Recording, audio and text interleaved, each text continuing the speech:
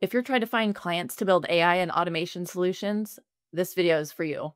I'm going to share three ways that I have gotten clients. And it took me a few months to kind of figure this out. So rather than you having to do it through trial and error, I just wanted to share my own experience and give you some tips to help you do it in a quicker way. And if you want to see more content like this, let me know by hitting the like button, subscribing, and dropping a comment down below because I read every comment and it helps guide the content on this channel. Okay, so here's the thing about getting clients. Number one, there's not just one way to do it.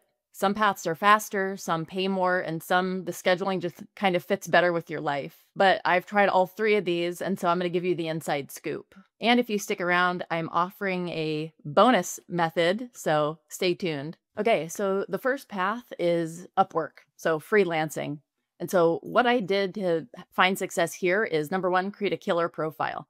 And I'm going to link my profile, not that it's, you know, the perfect thing out there, but it's been really successful for me but I'm going to link my Upwork profile down below. So if you want to check it out, you can do so. Please don't try to hire me off of Upwork. But what I did is I created a killer profile. I made sure that all of my top accomplishments are, you know, highly visible in the very top of my profile, had a good profile picture, et cetera, et cetera. So it's all very basic stuff. Make sure that if you are filling out your Upwork profile, that you fill it out completely, like every single thing. If it asks for an intro video, even if you think nobody's going to watch it, make an intro video and put it on there. But after I created my profile and completely filled it out, then I just started applying for gigs, like three to five every single day. And not just, you know, sending an, a few sentences about why I should get this. I'm talking providing high quality content where I can send it to them and they can see the expert that they'd be getting if they worked with me.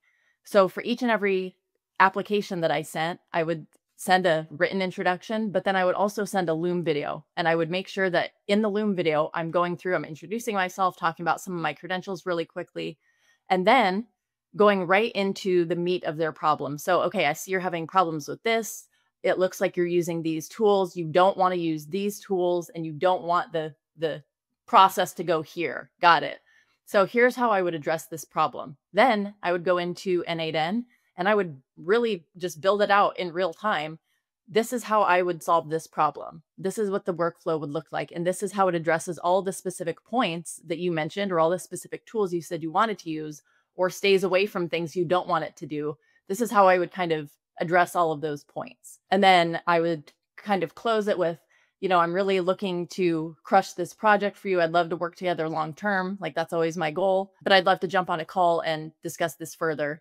And then send that to them. And I got an amazing response from that. I landed one of the first gigs that I applied for. It ended up turning into a multi month partnership and a five star review. And it got me the Rising Talent Badge. And you can earn that by getting a good review and working on a multi month project. So, and all that badge means is kind of like a, a trust or like a, hey, this person is highly rated and they've worked with someone on a long term project. But the great things about Upwork, you can figure out your own schedule. It's not like a nine to five, you know, it's not like a set schedule, generally speaking. And you get paid weekly. So that's really nice. And you could set your own rate. So literally, if somebody doesn't want to pay you what you're asking, then you just don't work with them. But the tips that I would give you, like I said, number one, have a killer profile. Like you can use mine as reference. Uh, don't like copy it, obviously, but you just really want to have all of your expertise on display. Then, number two, it's just a numbers game. Like, send three to five applications on Upwork to various gigs every day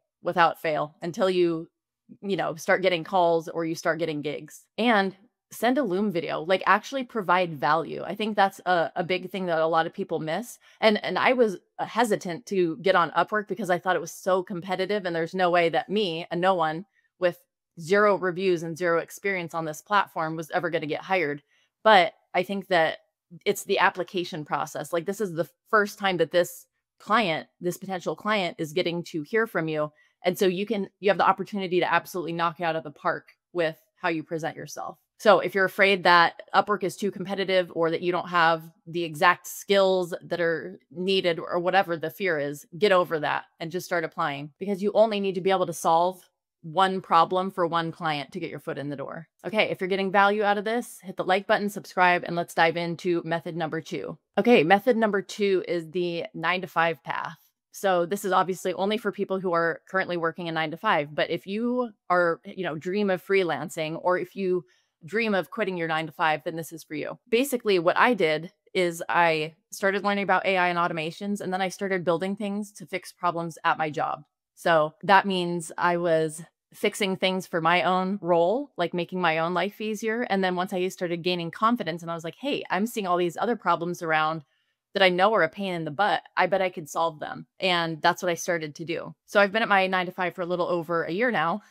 And in that time, I've saved us about 1,500 hours per year and added an additional $400,000 in revenue. So that's pretty huge. And in that process, I got a raise and I now only have to work four days a week instead of five. So that's pretty dope. But if you want to see all of the exact builds that I did to earn this, you can click above and watch that video. But the cool thing about this is if you have no interest in like quitting your nine to five or freelancing, then that's totally fine. You can still use this method to earn a raise or earn a bonus. But if you are looking to start freelancing or you do want to quit your job, this is a great way to build your portfolio. So by that, I mean, you can build real world solutions and then have results to show potential clients in the future. And in fact, if you look at my Upwork profile, you'll see some of the videos that I have like showing past work. A lot of that stuff is from my nine to five. But the key is to find the most problematic, taxing, painful problems that your boss or your manager has, and then go to them and say, Hey, I feel like I can solve this for us if I can save us, you know, X number of hours per year, can I get a piece of that pie? Or if I can add an additional, you know, $10,000, $100,000 in revenue, can I get a piece of that? And if your boss or manager has any sense, they'll say yes. And maybe it won't be a raise, maybe it'll be a bonus. But the, the key is that you're building that portfolio and getting paid for it. And if you are working a nine to five and you need help figuring out where to start in terms of finding a problem to solve, you can watch this video above and get a step by step walkthrough of the exact process that I used. All right, if you're getting value from this, hit the like button. Let's move on to method number three. So, method number three, I call the one to many demo path.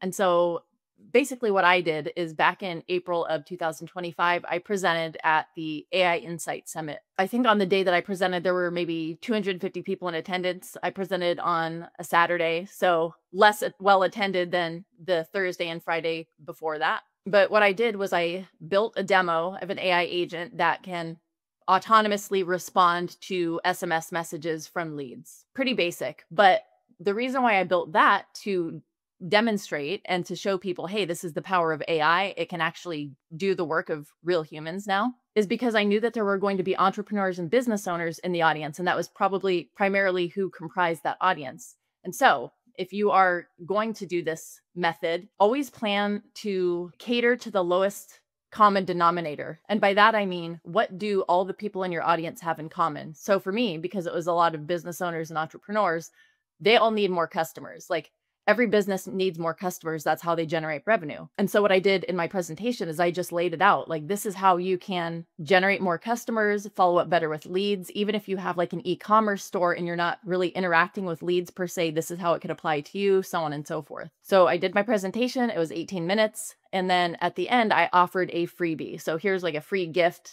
for your attention during my presentation and they scanned a QR code. They opted into my email list and then I delivered their freebie. So I believe I had like 80 or 82 people opt in out of 250, not a bad number.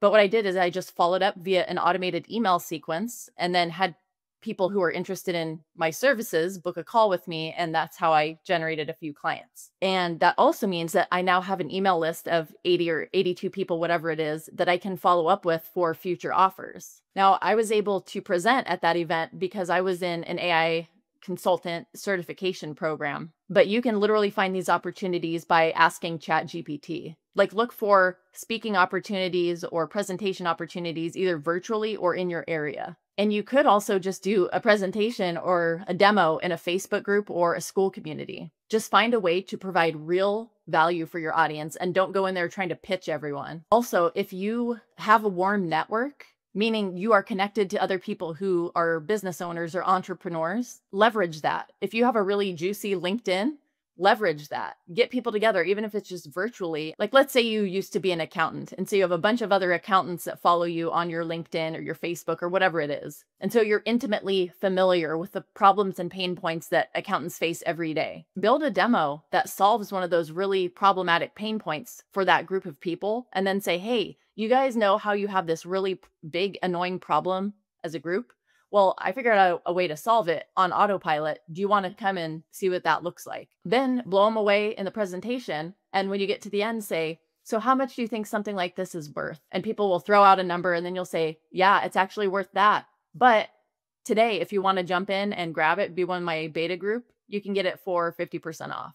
So instead of $5,000, you get 2,500 or instead of $1,000, it's 500, whatever. But the point being, like you get a bunch of people together and it, then it's a numbers game. And yes, it did require a good deal of prep work for me, but I did the presentation for 18 minutes and then I got a couple clients out of it. And then that was well worth all of the time it took for me to prepare and do the 18 minute presentation. All right, hit that like button and I'm going to tell you about the bonus method because you've stuck around this far in the video. So another way that I've found clients for AI and automation builds is by providing value in Skool communities. And I'm not uh, talking about those annoying value posts that people do when it's really obvious what they're trying to do, when they're trying to peddle their goods and services, trying to get people to bite so that they can reel them in. Like, I'm not talking about that. I'm talking about real value. So, the way that I did it was sharing what I was learning, sharing what I built for a client, and actually helping people that had questions with no pitch and no strings attached, no expectation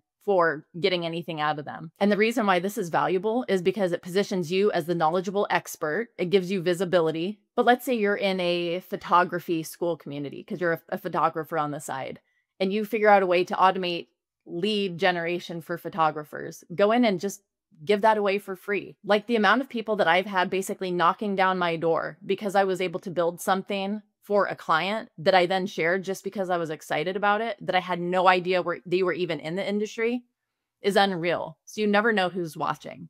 Also, I think it's just good karma. Okay, those are the three ways that I've gotten clients for AI and automation builds, plus a bonus method. And I've seen all of them work not just for me, but for the people that I've coached. These are results from real people in the AI Foundations community that participated in the 14 day challenge that I hosted in that community. And the 14 day challenge is just what it sounds like. It walks through all three of these methods step by step for 14 days to help you achieve success. And it's still available right now for community members. So if you're interested in going through that challenge, you can click the first link down in the description and check it out. And if you're interested in having me break down any of these paths more step by step, drop a comment down below. Like I said, the comments is what guides the content of this channel. And if you're a business owner who just wants me to build something for you, click the second link down below. But be sure to hit the like button and subscribe on your way out, and I will see y'all in the next video.